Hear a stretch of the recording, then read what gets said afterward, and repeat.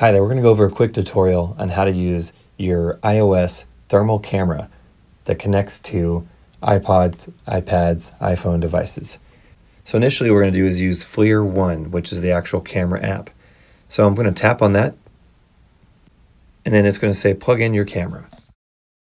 Rather than have it face up, which is probably your first inclination, you actually want to have this facing down because you want to look at the screen and have the camera face away from you. We're going to turn the device on, and we'll show you which uh, apps you're going to use. FLIR 1, this one right here, is what actually takes pictures. FLIR Tools is what you use to build a report. And so let's start off with FLIR 1. And it's going to say plug in your FLIR 1 to see the heat. So what we're going to do is take our device, stick it into the bottom of the lightning jack here, and then we have to turn it on. And there's a button on the side. I'm going to show you that here. Just press that for a few seconds. And then a couple seconds later, we're going to see that this camera will come alive with thermal image. Okay, so here we go. You have thermal imaging turned on. So right now I'm looking at a sound card audio device with a couple cables plugged into it. And then I have my iMac in front of it and you can see my reflection to some degree. Okay, so let's do is imagine this is a PM. What we're going to do is we're going to take a photo of the equipment that we're going to attach later to the actual PM and Maximo. And so, first of all, I'm going to take a photo for perspective. Note here, you want to make sure that the reticle itself is smaller than the object that you're trying to measure of temperature. So for example, if I'm trying to measure temperature of this screen in this general location, sure, it's going to work great. But if I'm trying to actually measure temperature of these little dots below, the reticle is actually bigger than those and that won't be accurate unless I get closer. First of all, let's look at this. We could see that we're near 100 degrees, but maybe the area of concern is the knobs themselves. So I'm going to do is take a picture by pushing the shutter circular button on the bottom here. Now I'm going to do is get closer. And of course, there's no safety concerns here, but you have to consider that when you're doing your PMs. So I'm looking here now at the dead center of this, and it looks like I'm getting a little hotter. I'm getting closer to 115 degrees. So I'm going to hold steady and Okay, so I got another photo. So at that point, I'm going to ask myself is, okay, I've got my thermal images. They look, they look pretty good. The question is, is what about the actual equipment? Is this room dark right now? Because the thermal image doesn't care, but your reference photo might. And so I'm going to show you an example. I'm going to turn the light off in this room here. Notice I turned the light off, nothing happened to the actual piece of equipment. But now I'm going to take another photo I'm going to turn the flashlight on. And now that I've done that, I'm going to take another photo. Okay. Now that we've taken our photos, we want to do is review these and then put them into our photo library of our actual camera. So on the bottom left corner here, if I tap on that, I'm going to take this most recent photo and save image. I'm going to take this one here and save image this close-up one we took, save image, the original one, save image. Now that I've done that, I'm going to do is I'm going to go leave the app and click on FLIR Tools. Now I'm going to click on the Click Import button on the top left. Now I'm going to go to my photo library. And I'm going to pick on Camera Roll, look at the most recent images here. Okay, so now let's select some photos. If I remember correctly, I think it's this one, this one, that one, that one, that one, and that one. I'm going to click on Done. Okay, so now under Import 3, I've got six images in there. And I'm going to select all of these to be part of my report. So I'm going to click on the report bottom here and say Create Report. Using the speech to text feature on the iOS device, I'm going to save my fingers from having to type all this, and I'm just going to say thermal image reference work order 1234.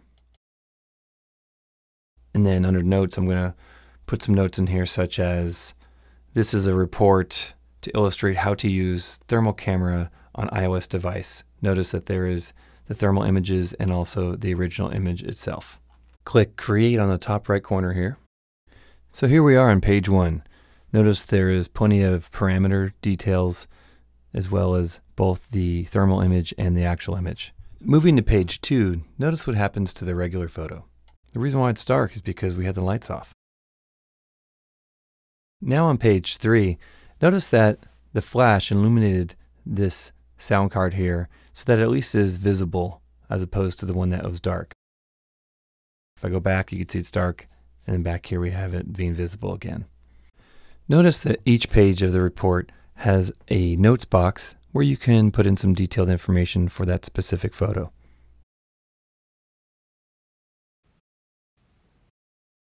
All right. Okay, so now we have our actual PDF with all of our information inside of it. Now from here, if you wanted to, you can email it, or you can even print it if you had a wireless printer. But emailing is kind of cumbersome, so we actually have a better solution. It involves Box.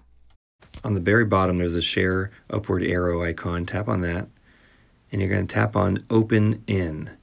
And so if you say Open In, use the Box application. So tap on Box, and here I'm going to put it in a folder. So I'm going to go All Files, Miscellaneous. Here's one, Thermal Sample Report. And in here, I'm going to store this PDF in here. I've already done it a few times, but I'm going to do it one more time here. I'm going to do is say choose. And then right before I push the upload button, I'll tap on rename it. And let's call this, after the work order, C1234. And let's call this reference uh, thermal images of sound card. Say done, and then upload. And notice how it says upload in one file. When it says work completed, you should now have an actual PDF in this folder with that name. And then from there, we could do is we can link it to Maximo directly. So let's see how that works. We're going to do is tap on the three right dots here. And then we're going to do is say share. And when you share a link in Box, the only thing you have to do is first enable the link is before you copy the link. This link by default is very secure so that we don't um, reveal any kind of health uh, protective information, etc. But this isn't proprietary. This is just basically a report to show everything's all all good. So we're going to do is we're going to change accessible to people in this folder to people with the link. This allows anyone on any device to open it up as long as they have this link. And might as well allow them to download it. And then we're going to say share link, and then we're going to copy that link. Okay, now that the link is copied to the clipboard, all we have to do is paste that as an attachment in Maximo. I know, it sounds like a lot, but it's actually not too tough. Here's how you do it. Okay, so here we are in Maximo. And granted, we're on the phone, so it looks pretty, pretty squashed. But if you were in the desktop, you would just click on the little paper clip here and add new attachment, and then click on add new web page. And then you're going to click specify URL. Double tap, paste, and we'll just call this a test PDF of thermal images. It's called a test report. And then we're going to click on OK. And then in the future, if someone taps on the view attachments, they'll see test report PDF of thermal images. I'll tap on that, and here we are, right into the actual report here that we created. Okay, I hope that helps. Thanks for watching.